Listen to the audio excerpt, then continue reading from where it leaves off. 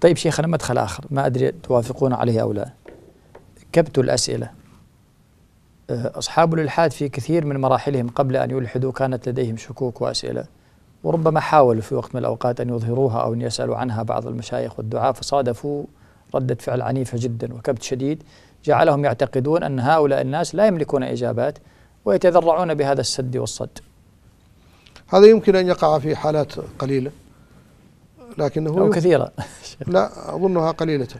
إيه. فالمفتونون الذين يلقي الشيطان في نفوسهم هذه الشبهات لا يوفقهم الله لمن يستطيع ردها شيخنا كانكم يعني تبالغون في القسوة على القوم. أحيانا هي أمور يعني شك وقع في قلبه بغير اختياره وما أراد السوء لكن ما أجابه أراده ولا يأتي كما كما ذكرنا في حلقة مضت أن الشهوات أن الشهوات تدعو إلى الشبهات. صحيح. فالإنسان إذا كان ظالما لنفسه ودخل جنته وهو ظالم لنفسه تأتي الشبهات حينئذ.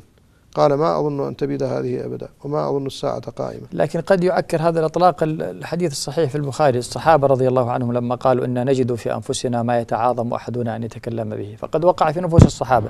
وقال عليه وسلم أو قد وجدتموه؟ قال ذلكم صريح الإيمان. فإذا قلنا بهذا الإطلاق أن الشكوك لا تقع إلا ليس في نفس ليس المقصود ليس المقصود به الشك في وجود الله. وإنما ما الذي يتعاظمون على قوله يتعاظمون فيما يتعلق ببعض الأقدار وما يتعلق ببعض يعني التدبير. غير بعيد عن هذا. نعم لكن المهم أنهم لا يشكون في وجود الله وقد نزلت السكينة في قلوبهم واطمأنوا بالإيمان.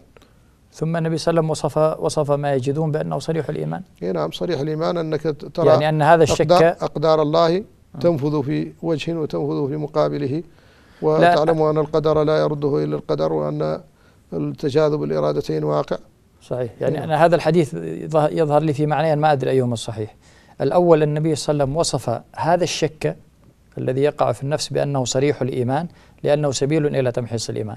والوجه الثاني أن يكون صريح الإيمان هو خوفهم مما وجدوا في أنفسهم. يعني لما قلقوا من هذا الشك هذا القلق هو صريح الإيمان. فأيهما صريح الإيمان؟ أصل الشك الذي يطرأ والوسوسة أو الخوف منها. الخوف منها هو, هو ما يكون على المعنى الأول ما الذي يمنع؟ يمكن أيضا يحمل على المعنى الأول لكن المهم أنه لا طيب. ليس المقصود بالشك الشك في في وجود الله ولا الشك في دينه ولا الشك في صدق رسوله. اللهم صل وسلم. يفسره فيقول من خلق كذا الحديث الآخر. نعم. أن الأمر يصل إلى إلى وجود الله عز وجل. لا لا لكن هو وجوده هم يقرون بوجوده. لكن فقط من خلقه؟ قضية لا هذه قضية فقط فيما يتعلق بجدلية أنك أنت تنطلق من إلى من عالم الشهادة. ولا لا تصل إلى الفاصل بينه وبين عالم الغيب. آه تنطلق من الحوادث ولا لا تصل إلى, إلى إلى القديم. إلى القديم نعم. الذي لم يسبق وجوده عدم. فهذه الحوادث تتسلسل لك وهي محدثات سبق وجودها عدم. لكن إذا وصلت إلى القديم الذي لم يسبق وجوده عدم لا تقسه على المخلوقات وعلى المحدثات. صحيح. سيأتي هذا البرهان لكن أعيد السؤال بتكييف آخر. هذه الأسئلة التي تقع في نفوس الشباب. هل كبتها وعدم الاستماع إليها عمل صالح؟ لا. أو الأولى أن يشجعوا على إظهارها ويناقشوا فيها؟